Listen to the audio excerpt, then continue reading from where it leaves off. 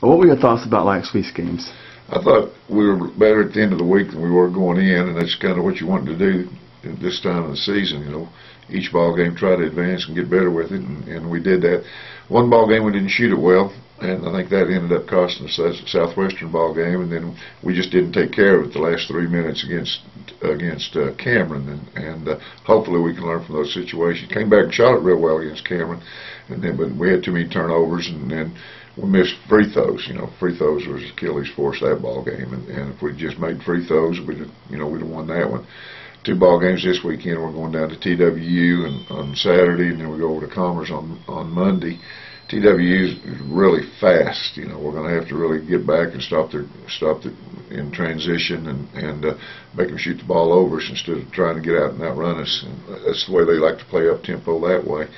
They um, on Commerce same way. They're athletic and and they they prefer the up tempo. So we may have to do care takes going to be real important in controlling tempo in both those ball games for us and and. Uh, and then on the offensive end, you know, I think we match up well against both teams. You know, we we uh, neither one of them are a whole lot bigger than what we are, and I think we're as athletic as they are. So we'll just have to make good choices with the ball in our hands, and then we get a good look, knock shots down like we did against Cameron, and we ought to be okay with things.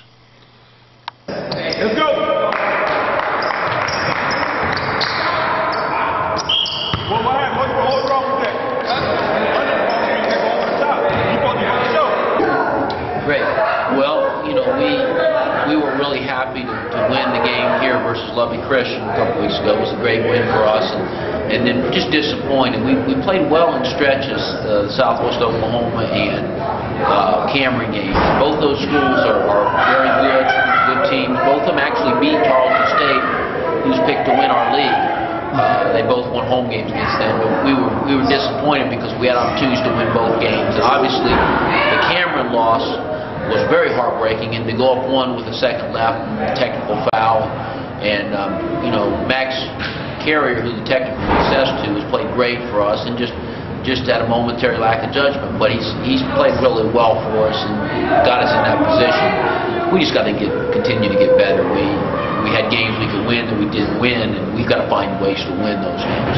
Uh, coming up this week, uh, Texas A&M Commerce, which will be a road game on Monday.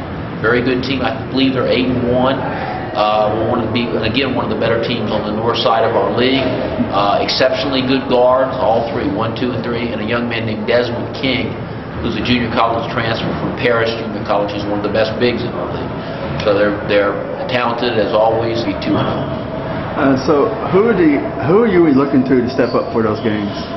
Well, um, you know, we've got a number of guys, but I, I know in particular Victor Reed is going to be important for us. Victor, uh, one of our returners, had, a, had a, a good year for us last year, and it's been a little bit up and down the last couple games. Victor's going to be important for us to, to play well. Six, uh, four young man from uh, El Paso, Texas. One Thursday.